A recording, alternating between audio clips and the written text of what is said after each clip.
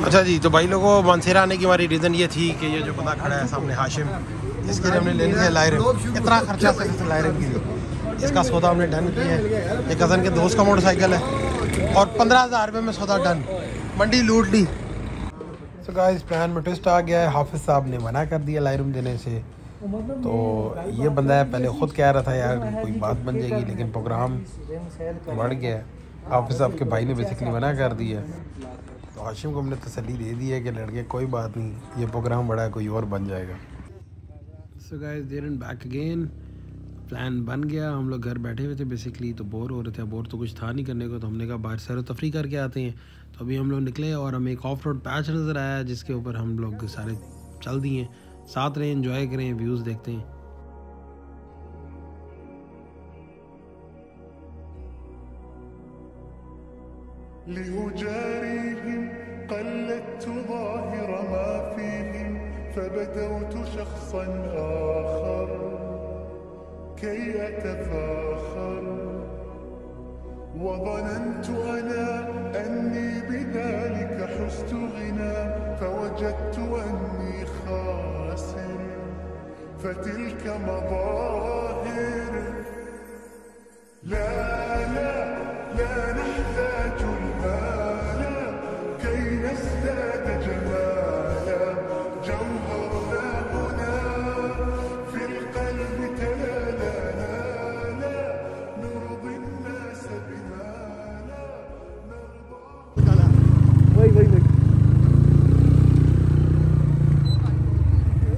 ये हम जा किधर रहे हैं। भजन ओनली साढ़े तीन हज़ार आरपीएम। सिर्फ़ अपना भी यही हिसाब है। दूसरा तो साढ़े तीन हज़ार आरपीएम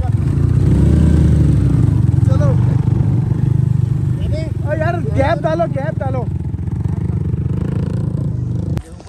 अभी आपने जिस तरह वीडियो में चेक किया है जो पैच हम कवर करके आए हैं बस यही होता है यार शुगर मेला एडवेंचर यही होता है। छोटी सी जगह पे आप ढूंढ लें।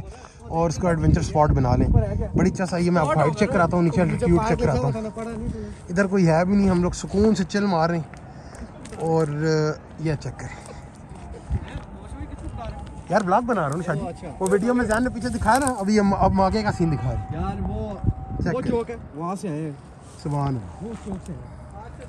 सीधा पहाड़ दस आ गई।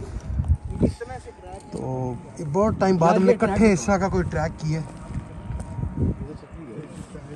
इधरों ट्रैक नहीं है इधरों सीधा स्वा स्लाइड बहुत मज़ा आया सवाल अल्लाह और आप यकीन करें मैंने बाइक को जीएस को अभी मेरे पास हमजा भाई का बाइक था। साढ़े तीन हज़ार आर पी एम चार हज़ार आर पी एम से ऊपर मैं नहीं गया असल में बाइक चढ़ाना फनकारी नहीं होती। बाइक उतारना फनकारी है हाँ, बाइक चढ़ा लिया उतारते पता चलेगा। और अल्हम्दुलिल्लाह खैर से उतारेंगे बहुत स्मूथ लेके आए अल्हम्दुलिल्लाह। आशिम तू मेरे पीछे बैठा था क्या किस तरह आए हम? स्मूथ आए? ज़बरदस्त है माशाल्लाह। यार हाँ। इस बंदा सूट भी देगा। अल्हम्दुलिल्लाह बहुत मज़ा आया। यार यकीन करें इस वजह से इस बाइक का मैं फ़ैन हूँ यार इस चीज़ पे। कमाल। सुबह खैर जी ये तफरियाँ चलती रहती हैं कज़नों में अल्हम्दुलिल्लाह ये मतलब जितना भी आज हमने जो कल से ट्रैवल अभी तक किया ना ये सबसे मज़े का पैच ये वाला लगा। ऑफ़ रोड का पैच देख के इस तरह का पहाड़ वाला जज्बात उभर जाते हैं यकीन करें। मज़ा ही आ गया खैर। आगे जाएँगे कोई अगर वीडियो में कुछ मिला तो ज़रूर दिखाएँगे, वरना आज इतना ही था। और इंशाल्लाह फिर किसी नए सफ़र के साथ आपसे मुलाकात होगी। तब तक के लिए अपना बहुत सारा ख्याल रखें। अल्लाह हाफिज़। हाँ जी तो बॉयज़ असद के बाइक के फाउंडेशन को जो डबल स्टैंड का रबड़ होता है, वो टेढ़ा हो गया था, उसको फिर हमने लिटाया आके और उसको सीधा कर रहे हैं। ऑफ़ रोड वाले पैचों में छोटी मोटी बातें चलती रहती हैं। तो खैर जी, ये था व्लॉग ये थी सीरीज़ एक छोटे से ट्रिप की जो आपके साथ शेयर की। इंशाल्लाह जल्द ही बड़ा व्लॉग भी आएगा, कोई टूर का। इन ताला ईद पर प्लान है। तो लेट्स सी देखिए हम कहाँ पे जाते हैं। कोशिश तो है कि इंशाल्लाह आपको कोई कमाल की जगह दिखाएँ। देखें बाकी अल्लाह पाक को जो मंजूर हुआ। तो ये था इस ट्रिप का छोटा मोटा जो भी पार्ट्स हैं, मैंने आपके साथ शेयर किए। अपना बहुत सारा ख्याल रखें, इंशाल्लाह मिलते हैं आपको किसी और वीडियो के साथ। तब तक के लिए अल्लाह हाफिज़।